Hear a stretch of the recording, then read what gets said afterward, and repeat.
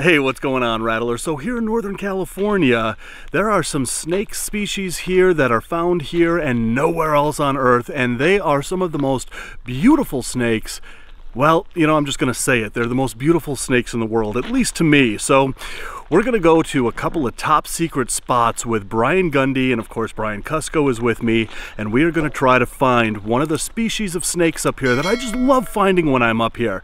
We're going to go out and try to find the critically endangered San Francisco garter snake, as well as a bunch of other cool snakes and lizards that can be found in this part of Northern California. I'm Dav Kaufman, and these are my reptile adventures. At Rainbow Mealworms, we grow all our insects 100% naturally so that you get the freshest, most lively feeders on the market. So for all your reptile food needs, place your order today at rainbowmealworms.net. All right, guys, so it's bright and early in the morning here. We're gonna head out to a top secret spot that Brian Gundy knows about, but uh, we're gonna start our Northern California herping adventure there, and hopefully we're gonna find one of the boa species that exists in this part of Northern California.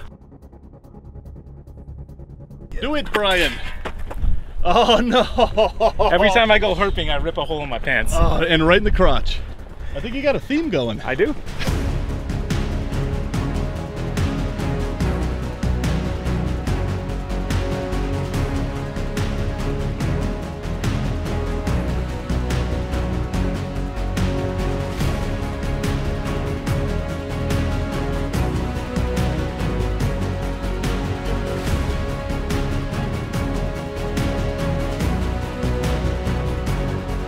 So here in the hills around San Francisco, what we're herping in here looks like it used to be an old hippie commune.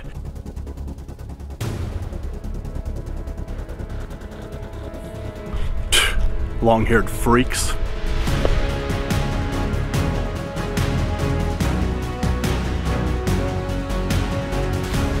I have a very good feeling about this board.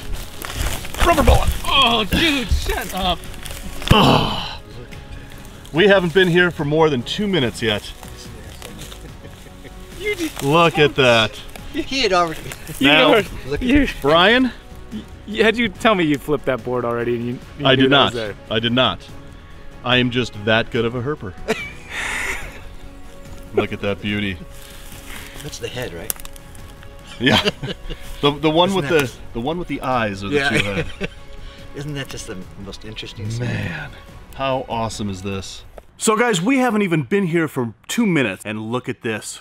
We found our first rubber boa. So north of Mexico, there are only two species of boas. There's this one, and there's the rosy boa, which is also found here in California, but down in the southern deserts. Up here in the north part of California, you're gonna find the rubber boas, and these guys really live up to their name rubber boa because they really look like they're just a piece of rubber. But the interesting thing about rubber boas is that their head and their tail looks almost identical. Sometimes you can't even tell which is the head and which is the tail until you see those eyes. But they do that for a defense mechanism in that if a bird or another predator comes along and wants to make a meal out of them, he'll kind of coil himself in a tight coil, hide his head under those coils, and stick that tail up in the air.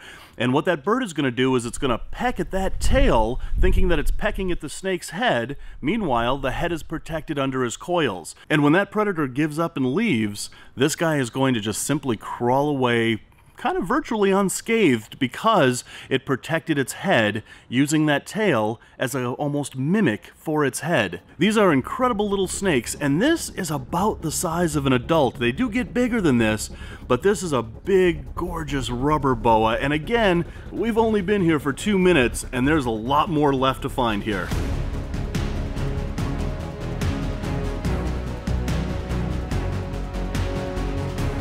Poison oak, poison oak! No, that, those are blackberry. Blackberry, poison oak, blackberry. All right, so Brian just found a little baby garter. Let's check him out. Oh, look at that. So that's a coast garter, or maybe it's a valley garter. We'll have to key him out. Eh, and it looks like a coast garter to me. All right, so Dave, rubber boa, Brian, garter. And the other Brian? Nothing. Nothing Yet. yet, yet. We've just started our day. All right, guys, so we came to this spot to find a rubber boa. We found it within the first two minutes. We flipped a bunch of other stuff. All we found was one rubber boa and one garter snake, which makes this place really awesome. But now we're gonna go to another location and hopefully we are going to find America's most beautiful snake.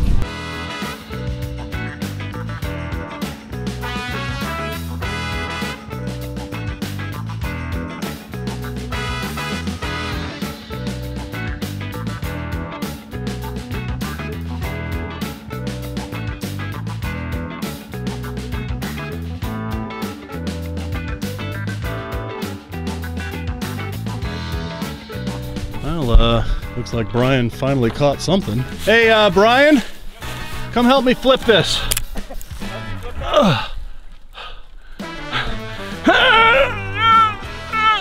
Well, Brian, if you don't find something quick, I'm not going to have a very good video. Oh, here, I found something. Here. Isn't that something? Snake. Yeah, I just found something, yeah. Dave asked me to find something quick, so I did. Say a little something about the Thamnophis woodeye. Would I tell you about it? Probably not. I don't know much about it other than this. you know what else? Boop. what about boop? All right, guys, so we've been here for maybe an hour, kind of working these pine plantations around here in a very secret spot, and there is exactly what we came to see. That is the San Francisco garter snake. That is one of the most rare snakes in the United States but in my opinion, it is the most beautiful snake in the United States. So these guys are federally protected, which means that you can't touch it, you can't collect it, obviously, and you just have to do what we're doing here and just see if you can get a shot of him while he's crawling through all these pine needles here.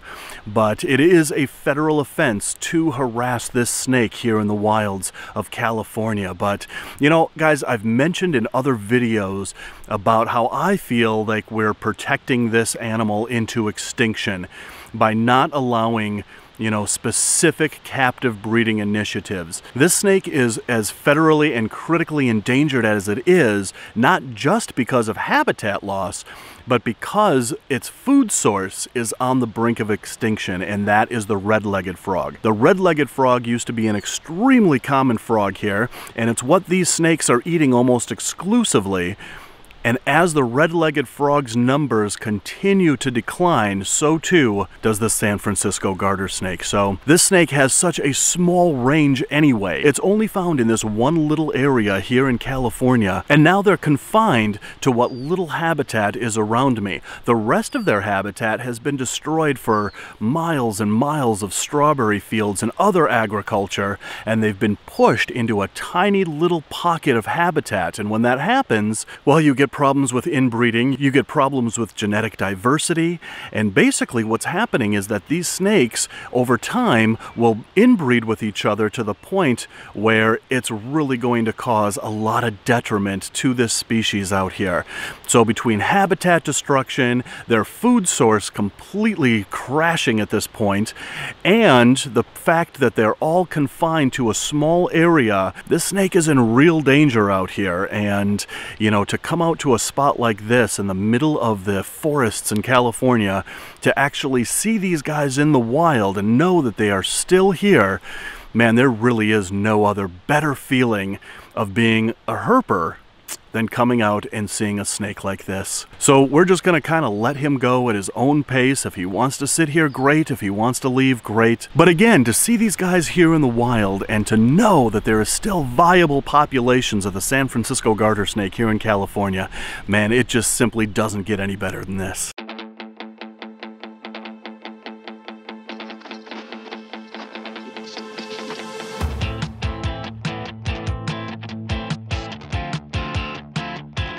All right, so we dropped off Brian Gundy and traded him for Travis Johnson here. I don't know if I can hold a, a candle to Brian. I mean, that's that's that's big shoes to Those fill. Those are but- some big shoes to fill. but anyway, we're going to do a little night cruising, a little road cruising here, and hopefully we're going to find some stuff down these roads here. I hope so. Let's hit it.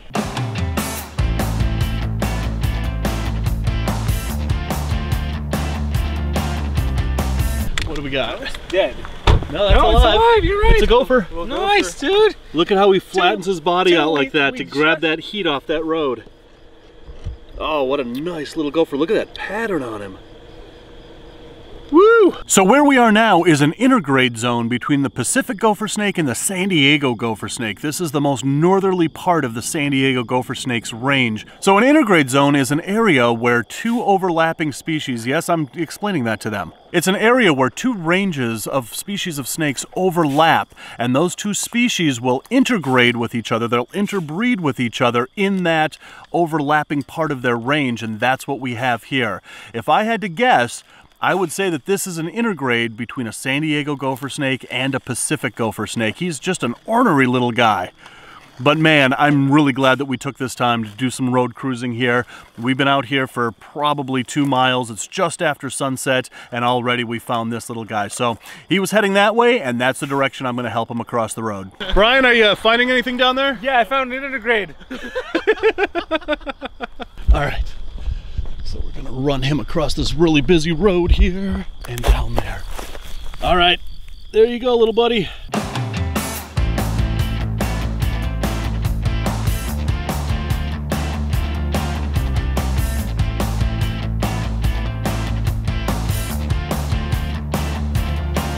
All right, got another little snake here. Looks like a gopher to me. Yep. Yeah, it's another little gopher. Nice bright color. See, but now look at this one though. That one, like, screams San Diego gopher. Could be an intergrade, but it really looks like a San Diego gopher. Here you, are, Brian. to touch the snakey. Want to touch the snakey? Oh, that's smooth and nice. That's one thing that you can tell the difference between a gopher snake and a rattlesnake right away. As soon as you grab it, you know the, the gopher is much smoother than the rattlesnake. So that's one way you could definitely tell the difference. Just just grab it, and if it's smooth, then it's a gopher snake, and if it's rough, then it's a rattlesnake. That's absolutely right. there you And, go. That's yeah, the best let- technique, probably. Let it bite you, see if you get a rash. right, you know? See You what still happens have the there. keeled scales, but not, you know, not quite uh, as coarse as, you know, a, a rattler would be. Yeah, Right. definitely not. All right, you want to do the honors of uh, walking him across the road? So weird. You can do it.